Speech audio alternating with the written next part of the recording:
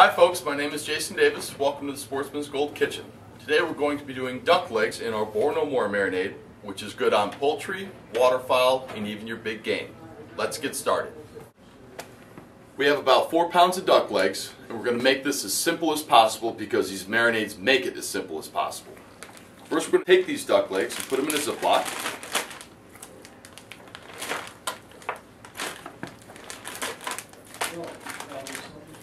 Then, we're going to take this marinade, we're going to dump it in the Ziploc,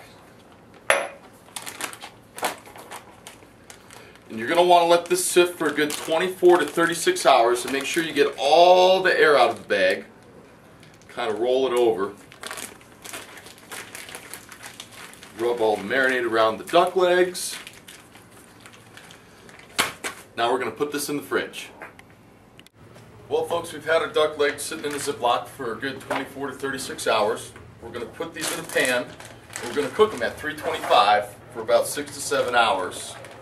And then we're going to pull them apart once they're done. And you don't want to keep these covered because you don't want to steam the meat, you want to braise the meat. We'll put these in the oven. We're going to let them cook. Well folks, we cooked duck legs for about six and a half hours at 325, so we're going to pull them out of the oven.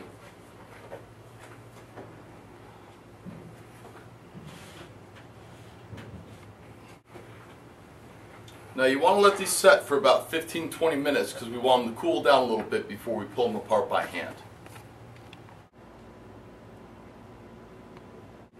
Well, we've let the duck legs sit for about 20 minutes now, so we're going to start pulling them apart.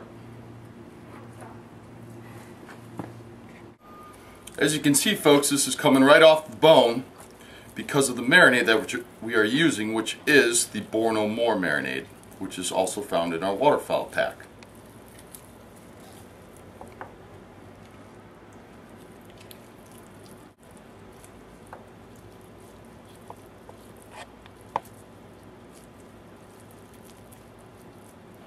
And there you have it folks.